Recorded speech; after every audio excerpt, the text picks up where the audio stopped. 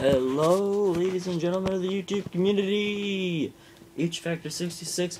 Today, I bring you some Call of Duty Black Ops 1 zombies on Ascension. That's right, I am playing Ascension once again. In yet another attempt for high rounds. But this time with an even faster strategy. The strategy I've uh, now adopted and I'm now using is the first room strategy and I'm going to honestly say, the first room strategy is pretty good for me. I can run it easily, and it's much faster than the PhD strategy. And I'm so I actually feel very confident about getting to high rounds with this strategy. And I feel much confident that I can do it much faster than the PhD strategy. So anyway, here's what I've been doing pretty much the entire game ever since I decided to run the P pack a punch, not the pack punch, the first room strategy. It's been as quick as that. Oh, I missed one. Dang it. Yeah, that happens a few times. Sometimes I miss one and I have to circle around with them until the rest appear. But really, I'm finding this strategy to be a lot better and quicker than the PhD strategy, and it's pretty simple, so there isn't much to it. So, and I've been able to run this pretty easily. Oh, look, sweet! Free killing! And then I have the, I also get that every now and then, which kills a few zombies for me, so I don't have to. I really like that.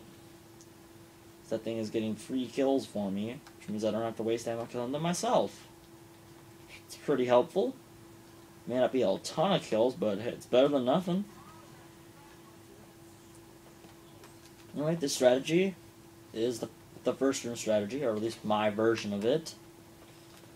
And I've actually seen this strategy run by Big Dog DeLuca 103 and one of his friends on co-op in a round 99 game, so that's where I adopted this strategy from, except they ran it a little bit differently than I'm doing right now.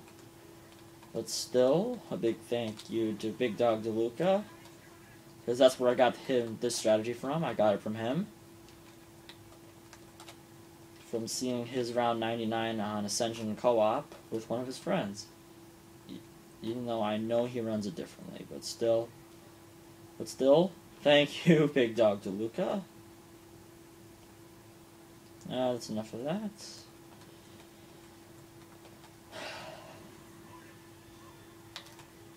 I thought I took care of the two I missed. Got him.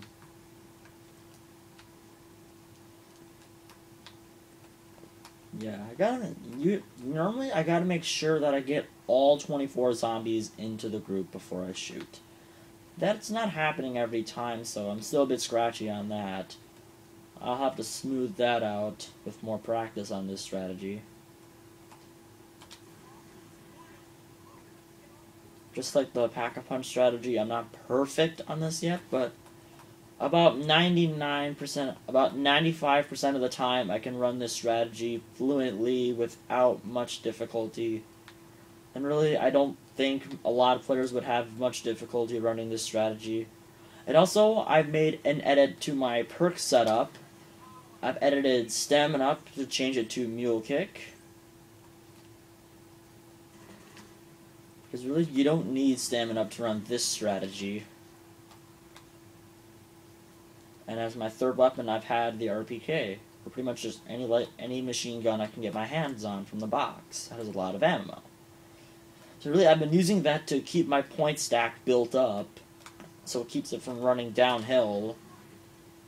Even though, inevitably, when I have to put the Zeus cannon back into the mystery box to get more ammo for later rounds, I'll inevitably spend a lot of this money if I don't get it back in a few tries. The most I've ever spent trying to get the Thunder Gun out of the box again is like 55,000 points. Maybe more because I was just shooting them and shooting them every time I got a new gun, except for the ray gun. Ray gun is not a good point builder, definitely. However, I did get the Thunder Gun for the first time on round 33, which, no, 34. 33 was my the first down and only down of the game so far. So I haven't had much failure with this strategy.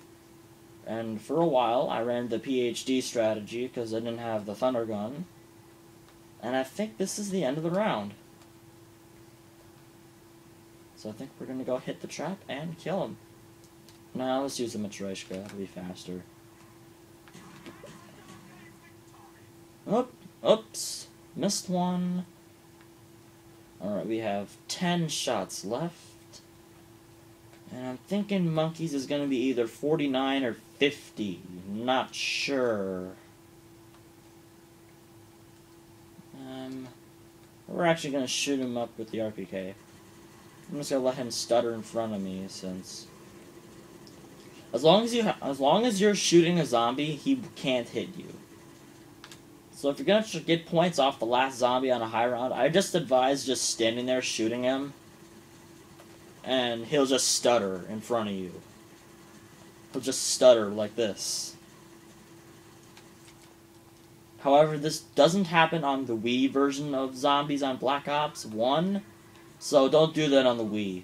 But for any other console, that will work. And I'm thinking 49 is going to be our monkeys. Yep, just as I thought. This is when I thought monkeys would come. And I was right. Let's go greet the monkeys, eh?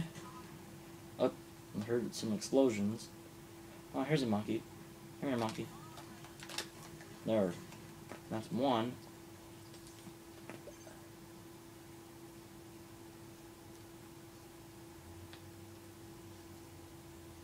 Over here? No.